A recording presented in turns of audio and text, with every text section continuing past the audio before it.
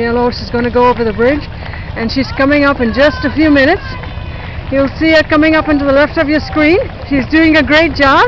She's done this run before. She's going to be fine. Yes, she is.